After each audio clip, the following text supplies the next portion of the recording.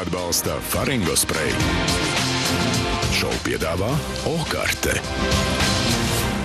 Bet pirms tam es gribēju pajaut Mārtiņš Ruskis.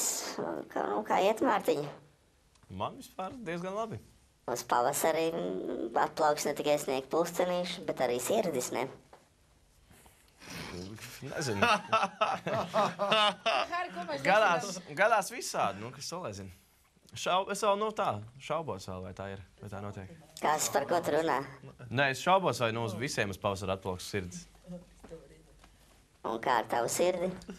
To es arī vēl nezinu. Kāpēc es dzirdu tādu smīkņāšanu šurpu turpu? Es Es nezinu. par ko tu runā, smieklāk. Saprotam. Es nezinu. nesaprotu. Ko jā, tu saproti? Varbūt. Par ko, Es par kā tev liekas, ko es mērķēju? Šeit pat tu mērķē. Nav ne mazākās nojausmas vispār. Ruski, bet nu kā ir, nu tajā pavasarī tā, ka mīlestība atnāk, un tas tāds patīkams brīdis, un kņud, Neviens jau nav teicis, ka ir atnākusi mīlestība. uh, bet nu tās, tās sajūtas jau tomēr ir tādas, vai ne? Ko tad? Tās sajūtas jau ir tādas savādākas. Nē, nu, pavasarī zina, kā silts laiks ārā, tad putni čivina. Lapas sāk ā, plaukt. Tas kaķa laiks, Kaķiem arī dzirdēju, ka ir laiks jāzina. Sandī, kā ir tavu kaķi? Es ruski, kā tevi? ruski, ruski klausies. No. Bet nu, tu skaties, ka nesenāk kaķis maisā. Tas jau tā, tagad, tagad no pujāta dziesmas gluži vai? Nu, ruski. Laukā, lai Bet kā ir, tās jūtas eh, tomēr ir tagad ā, at, atpla, atplaukušas? eh, Tas tev tā palīdz ikdienā arī tādam pozitīvākam, jaukākam būt. Nu, es neesmu ikdienā ar pēdējo nedēļu laikā pozitīvs, bet nu, par jūtām es vēl nezinu. Vai, nu, vai tādas vispār ir? Ā, nezinu, vai ir. Nē. Bet kaut kāds aizmetnis jau ir. Par to vēl zinātnieki strīdās. Pārējie ir pamanījuši, ka Ruskis ir tāds eh, laimīgāks. Vakardien, vakardien būs ziņā no Liepājas uz Rīgu. Kaut ko fabrikāju. No Liepājas apakaļ uz Rīgu. Nu, tāds vibrācijas es tur jūtu. Tur. Vai? Tas bija tāpēc, ka mēs gribējām gulēt. Viņi gribēja dziedāt.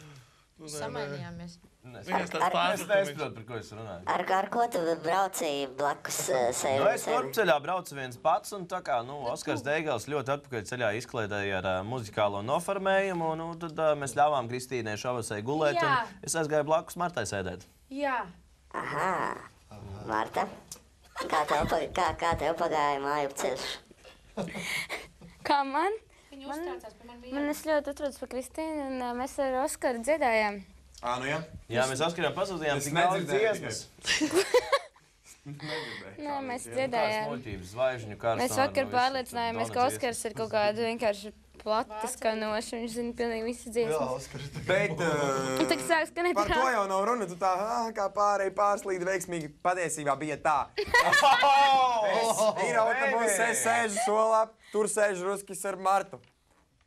Es viens kā vispār, vispār atlūdzu, vienkārši kaut ko dziedu, dziedu. šeit. Ruskis tāds, "Ej, lai es-" Un abi divi sarunājas. un tā, lai- Viņi pieci reizes pa laikam tik, "Ew, mīlīši, padziedi par mani, man nav ko darīt. Viņi, "Ai, pārši Oskar, pēc tam pagājuši sarunājas, tik sarunas. Bija ļoti, bija ļoti, bija ļoti muzikāla saruna. un Mēs visu ceļu laikā mēģinājām vienoties par to. Nē, drusku, nē, mēs ceļā sākumā, Marta, pat, pat jā, lai nebūtu tā, ka es tagad meloju, mēs bišķi padziedājām. Bet, nu, tā Kāds smūgi, kāds minūtes, bija? 20 Jā, minūtes nu.